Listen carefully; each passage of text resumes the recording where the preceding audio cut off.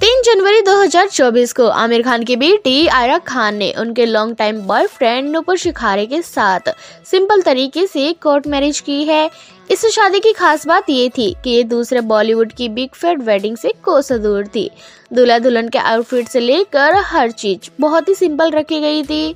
आयरा खान ने जहाँ कोई महँगी और डिज़ाइनर साड़ी या लहंगा नहीं पहना था, वहीं दूल्हे राजा तो स्पोर्ट्स शॉर्ट्स और बनियान में ही मैरिज करने के लिए पहुँच गए थे। हालाँकि दूल्हे के इस आउटफिट ने उनका खूब मज़ाक बनवाया। लोगों ने आमिर खान और उनकी बेटी आयरा और दमाद नुपुर शिखारे को जमकर ट्रोल किया है। कोर्ट मैरिज करने के वीडियो पर लोगों ने तरह तरह के कमेंट्स किए हैं। लहंगा और साड़ी की बजाय आयरा खान कूल दुल्हन के अंदाज में नज़र आए।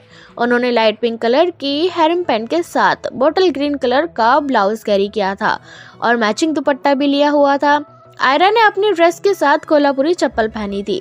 वहीं दूल्हे राजा शॉर्ट्स और बनियान पहनकर जॉगिंग करते हुए आमिर खान के दरवाजे पर बारात लेकर पहुँचे थे। इसके बाद कपल ने रजिस्ट्रार के सामने कोर्ट मैरिज के कागजों पर साइन किए और सिंपल शादी हो गई। इस शादी के कई वीडियो सोशल मीडिया पर तेज़ी से वायरल हो रहे हैं, जिनमें आमिर खान के दामाद नुपुर शिखरे का मज़ाक बनाया जा रहा है। लोगों ने नुपुर शिखारे के लिए कई तरह के कमेंट किए हैं।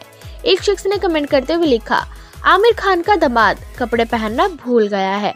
वहीं दूसरे ने लिखा, आमिर खान का दामाद चड्डी बनियान में शादी करने आया है। कोई इसे कपड़े दे दो।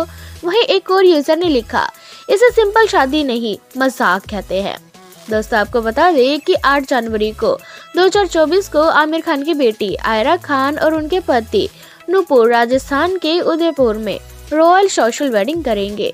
इस शादी में कई मेहमान शामिल होंगे। इसके बाद 13 जनवरी 2024 को आमिर खान अपनी बेटी आय राव और दामाद नूपुर के लिए मुंबई में ग्रैंड रिसेप्शन की होस्ट करेंगे, जिसमें बॉलीवुड से लेकर खेल जगत तक के लोग शामिल होंगे। तो दोस्तों आयरा खान और नूपुर की इस शादी के बारे में आप क्या कहना चाहोगे? हमें कमेंट सेक्शन में कमेंट करके ज़रूर बताएँ। और साथ ही इसी तरह के इंटरेस्टिंग वीडियोस के लिए चैनल को सब्सक्राइब करना बिल्कुल भी ना भूलें।